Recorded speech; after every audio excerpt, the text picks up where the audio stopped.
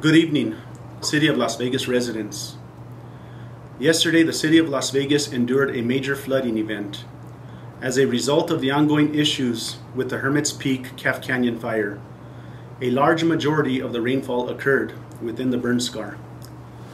This caused major flooding within the City of Las Vegas, and all sources of water were compromised. The city has been working with local state, and federal authorities to address issues at the water treat treatment plant as the Gallinas River has been compromised with debris, ash, and silt.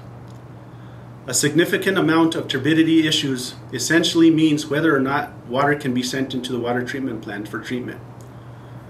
At this time, the turbidity does not meet levels necessary for water treatment.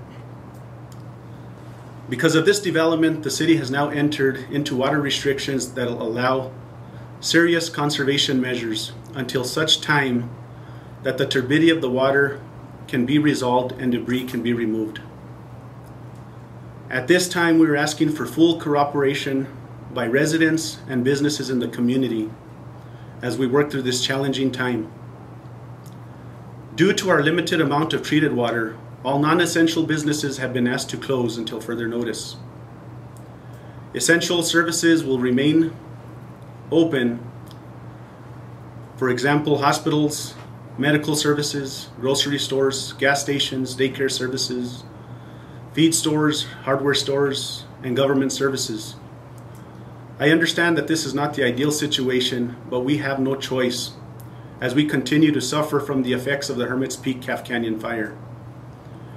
In cooperation with our stakeholders, we have requested additional services to bring additional relief to our community. We will keep you informed about any upcoming distribution events in the very near future and help support our water crisis through these efforts. We want to provide essential support to our residents. We are very resilient. Our community has been through a lot, and we will continue to work together for a better Las Vegas. Thank you for your cooperation and have a good evening.